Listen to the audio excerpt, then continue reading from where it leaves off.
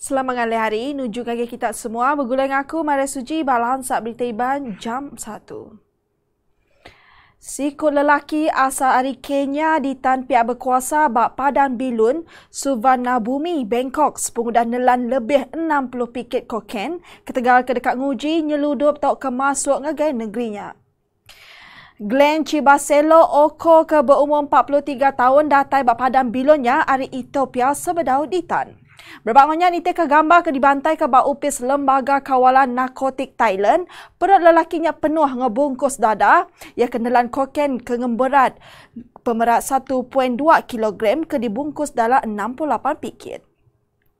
Nangkan kenyak polis mada Oko ditan bergulai ngosikuk peranak Nigeria, Osita Joseph Ukpa ke dipadah ngupah yang dikena nyeludup dadahnya tadi.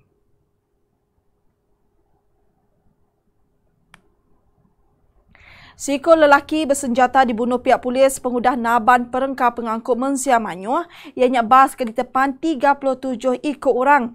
Tang tajuk pihak seminat senjata seminat senjata pelesu.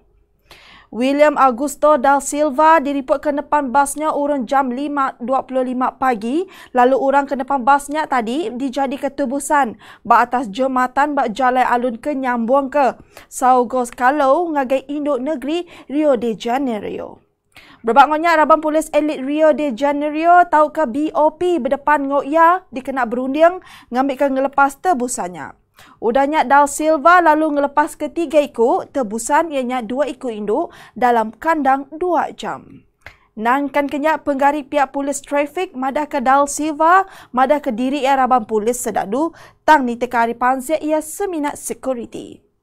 Da Silva ditimbak polis lebih ke dekat pansut dari basnya. Ni teka report ia kena ada ngembuan niat dekat ngacau orang kena basnya disah ke parai bak hospital lebuh di perubat.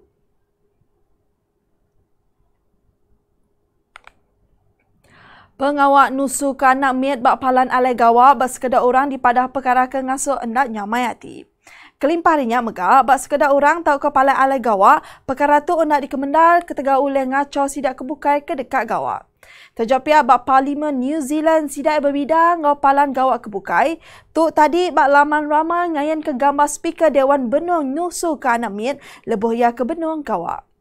Speaker Trevor Malat di padah Benung Nusu ke anak mit, seraya ke Benung di petuai debat bak Parlimen.